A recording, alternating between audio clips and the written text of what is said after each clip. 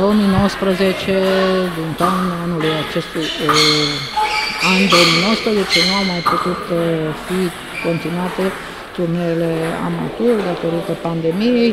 Sigur, lumea și-a dorit foarte mult deja din uh, toamna anului trecut. Uh, tardiv s-au început cu uh, competiții de anvergură mai mică, de tip B, unde veneau mai puțin concurenți cu teste, bineînțeles, făcute la zi. Acum au început deja și competițiile A+, unde și Dumbrăvița va fi în continuare implicată în data de 12 septembrie, unde pe nivele de pregătire și de joc se vor începe din nou aceste întâlniri care vrem să le facem cât putem de dese.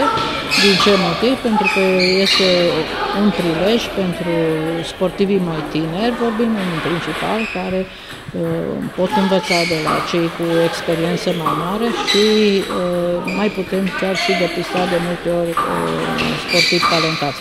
Uh, sigur că vrem să facem această competiție uh, care va avea loc și pentru clasa Master și Elite, pentru că uh, în cadrul proiectului Consiliului Județean Timiș avem uh, Cupa Master și atunci uh, vom ține această competiție cam tot în această dată, pentru că vrem sportivii de înaltă performanță care vor fi disponibili la vremea respectivă, la data respectivă, să participe într-un număr cât mai mare.